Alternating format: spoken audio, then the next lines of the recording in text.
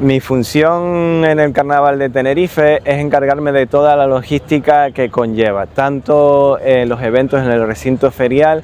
que montamos un puesto médico y todo el material que, conlleva.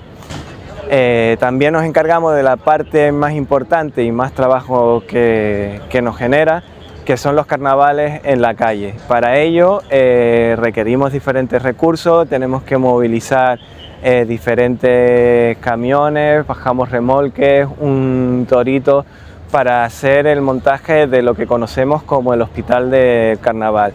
Mi principal función es coordinar eh, todos los equipos que tiene Cruz Roja para preparar eh, su zona del dispositivo y un previo donde vamos a montar y preparar el material para bajarlo a Santa Cruz y empezar a trabajar.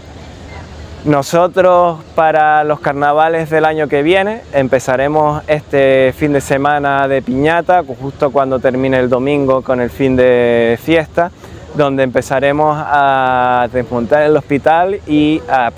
paletizar la mercancía para dejarla preparada para los carnavales del 2024.